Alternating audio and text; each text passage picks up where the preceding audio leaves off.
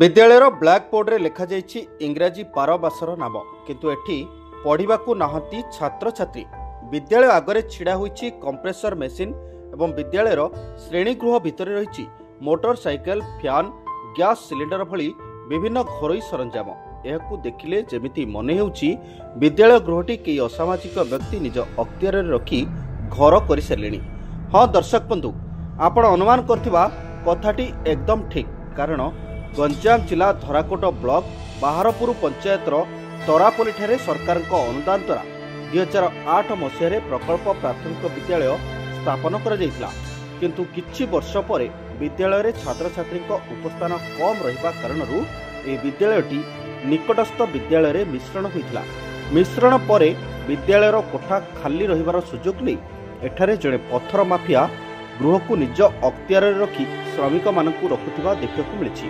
ଏଭଳି ଦୃଶ୍ୟ କେବଳ ଗୋଟିଏ ବିଦ୍ୟାଳୟ ଗୃହର ନୁହେଁ ବରଂ ବ୍ଲକର ବିଭିନ୍ନ ବିଦ୍ୟାଳୟରେ ମିଶ୍ରଣ ହୋଇଥିବା ବାଇଶଟି ବିଦ୍ୟାଳୟର କୋଠାର ଦୃଶ୍ୟ ସହିତ ସମାନ।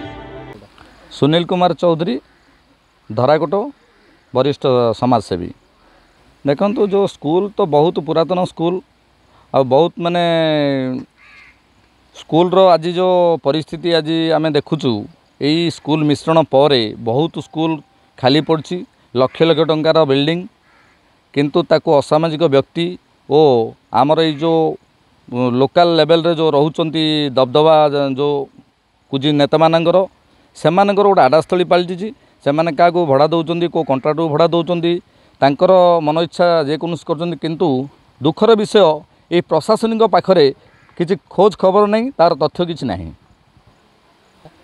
ଦେଖନ୍ତୁ ଏଇ ସ୍କୁଲକୁ ଯଦି ସରକାରୀ ସରକାରୀ କଳର ଏତେ କୋଟି କୋଟି ଟଙ୍କାର ସମ୍ପତ୍ତି ଯଦି ସରକାରଙ୍କ ପ୍ରଶାସନିକ ଅଧିକାରୀ ଆକୁ ଠିକ୍ ତଦାରଖ କରନ୍ତେ ଠିକ୍ ଏନକ୍ୱାରି କରି ତାକୁ ଉପଯୁକ୍ତ ମାର୍ଗରେ ମିଶନ ଶକ୍ତି ହେଉ କି ଯେକୌଣସି ସରକାରୀ ସଂସ୍ଥାକୁ ଯଦି ଏହାକୁ ହସ୍ତାନ୍ତର କରନ୍ତେ ଆଜି ବହୁତ ମାନେ ଏଇ ସ୍କୁଲ ସ୍କୁଲ ଯାହାର ପୁନରୁଦ୍ଧାର ହୋଇ ତାକୁ ସିଏ ଗୋଟେ ସରକାରୀ ସଂସ୍ଥାରେ ପରିଣତ ହୋଇ ଆଉ ଲୋକଙ୍କର ଏଇ ଜନମଙ୍ଗଳ କାର୍ଯ୍ୟରେ ଉପଯୁକ୍ତ ମିଳନ୍ତା ସ୍ୱାର୍ଥ ମିଳନ୍ତା।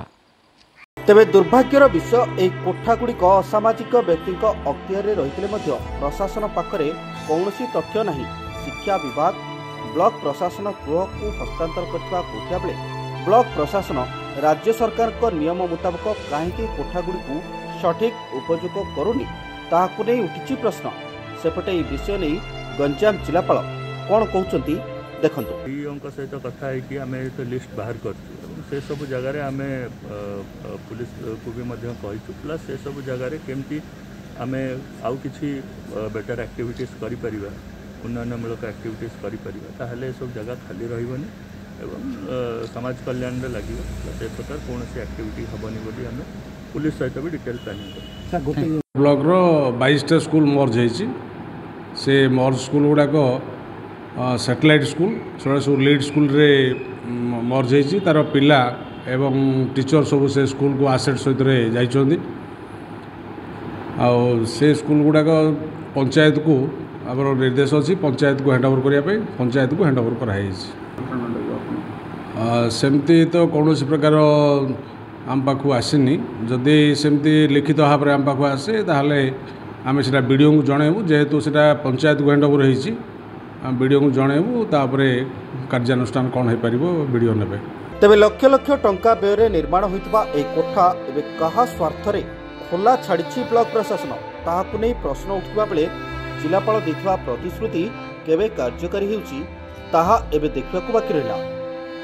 ଗଞ୍ଜାମରୁ ସୁଶାନ୍ତ ପଟ୍ଟନାୟକ ସକାଳ ଖବର।